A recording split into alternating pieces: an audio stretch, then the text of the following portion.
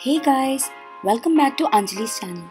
This is a DIY video of a simple yet pretty cool photo frame. To see how to do it, keep watching.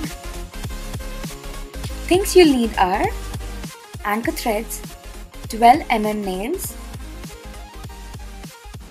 few wooden pegs. I have used 20 of them here. I didn't find them in stores here so ordered it online. You can check out for these in the description down below. Uh, you'll definitely need some photos and also a wooden frame.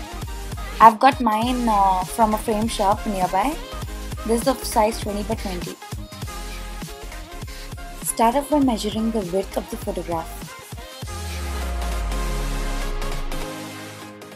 Keeping that measurement in mind, mark either sides of the frame to hammer the nails.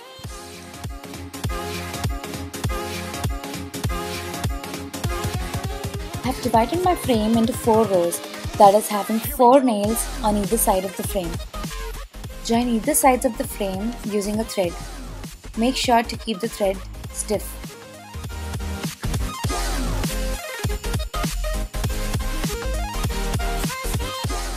Cut out all the photographs and keep them ready to be pinned up.